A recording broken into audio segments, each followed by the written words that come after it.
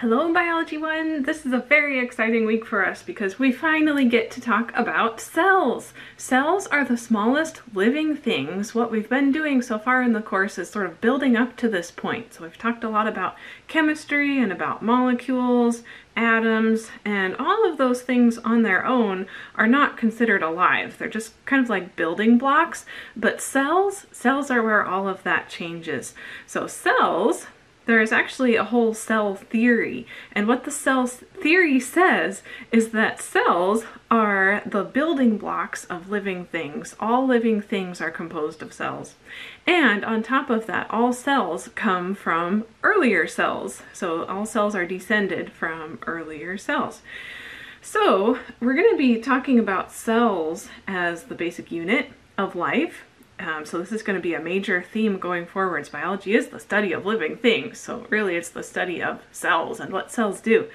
Um, when we talk about living things, living things can come in two varieties. They can either be single-celled organisms or they could be multi-celled organisms. And that just literally means either their bodies are made up of one individual cell, that's the case for very small things like bacteria, um, or we could be talking about organisms that have lots of cells put together, and that would be um, the case for us. In the human body, there are lots and lots of cells that have to work together in order for our bodies to do what they do. So there's going to be a lot of variety in terms of the size scale for the cells that we will encounter this semester. Let me just show you a scale here. So scale, um, come down to the bottom. This is kind of where we started. We started off talking about atoms. We said you can put atoms together to form small molecules and you can use those as building blocks to build our biological molecules like lipids and proteins.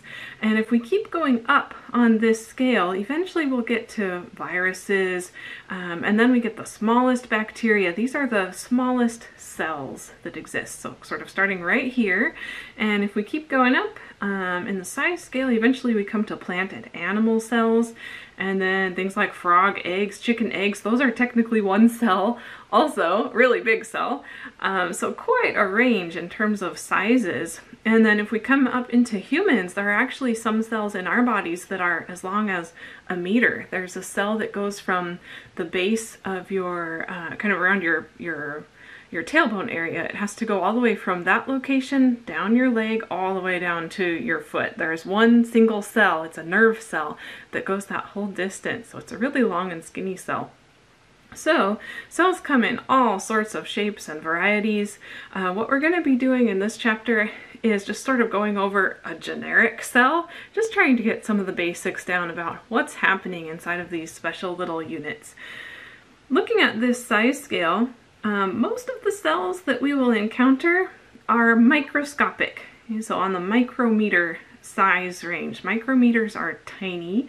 Um, they are microscopic, which means we need a microscope in order to study most things that go on in cells. So this is a picture of a sort of a generic light microscope. Here are the eyepieces. These are also called the ocular lenses.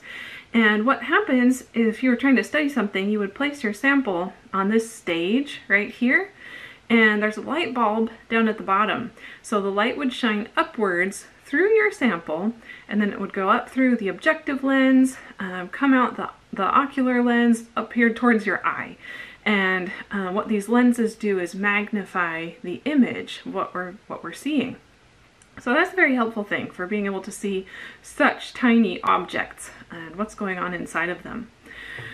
So let's just kind of talk generally about cells. All cells, regardless of which type we're talking about, all cells have some basic things in common. So that's a nice place for us to start in terms of our discussion of cells.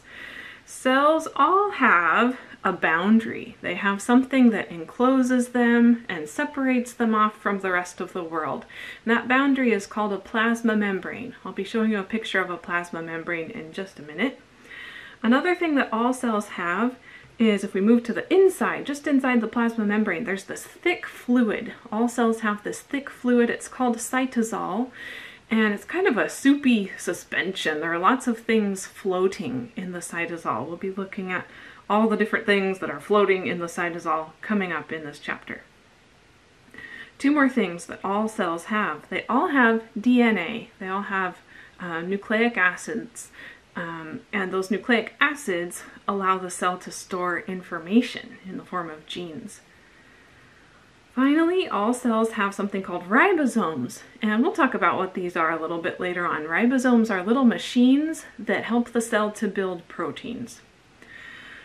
Okay, so now that we kind of know some of the basic general features that we're going to have in the back of our minds as we go forward, um, let's break it down even further. It turns out there are two major categories of cells. Uh, there are some cells that are a little bit more simple. They're called prokaryotic cells. And then there are also more complex cells. They're going to be called eukaryotic cells. I'll get that word down on the slide in just a moment. So let's start with the prokaryotic cells. These include things like bacteria, which are very tiny, and also archaea. Archaeal cells, you might not have heard of these before. They're about the same size as bacteria, and they live in sort of unusual environments. They live in really harsh conditions, like um, down in the ocean, at the bottom of the ocean near thermal vents where it's really hot. They kind of they live in that boiling water. Um, another place that archaeal cells might live is in your intestines. Uh, we'll come back to these later on in the semester. For now, just trying to kind of get the idea across. These are tiny cells and they're relatively simple. What do we mean by that? When we look at their internal structure, they don't really have a whole lot of specialized structures inside. So they don't have a nucleus and they don't have organelles. We'll see what those are in just a minute. They do have some DNA, so they do still have genes. They still follow those general rules. They have a plasma membrane. They have DNA. They have ribosomes. Um, what they what they do have for protection is an extra layer around them. They tend to have something called a cell wall, and that provides kind of a rigid enclosure that they can hang out in. Okay, so that's a prokaryotic cell. Let's talk about the other variety, the more complex type of cell, eukaryotic cells. All of the cells of the human body are eukaryotic cells. So what's the big difference here? Okay, we have a special structure in our cells called a nucleus. This is where the DNA resides. So let me get down a picture. Okay, look at this cell right here. This is kind of a typical animal cell. And in purple right here, the sphere, the sphere is what is enclosing the DNA of this cell. So jump over to the prokaryotic cell here. The DNA was just kind of floating freely in the cytosol. Not so in this case. Over here it's packaged up very neatly in a nucleus. When you look at the internal structure here, you'll see a bunch of other things going on in the cytosol. All of these special structures are called organelles. So eukaryotic cells have organelles. That's probably the biggest difference between these two types of cells. So, given that eukaryotic cells are a bit more complex uh, this is where we're going to put most of our focus for this chapter. What we're going to do is walk through each of these structures. We're going to start out uh, with the plasma membrane in yellow. We're going to talk about what's that made of, what does it do, and then we'll move inside. We'll talk about the nucleus, we'll talk about each of these other organelles, and we'll just kind of walk through and learn about what, what cells do.